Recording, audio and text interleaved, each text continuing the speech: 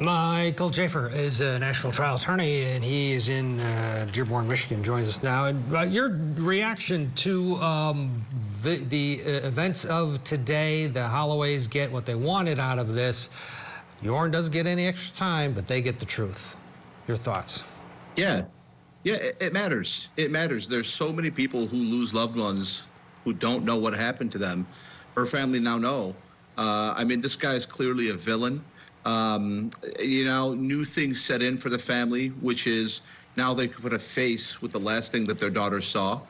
That's not going to be easy. That's going to be very, very distressing for the rest of their lives. But at least that, uh, at least they know. Uh, and kudos to our justice system. I mean, this shows you that American justice. Listen, it's it's not perfect, but it's the least imperfect system in the world.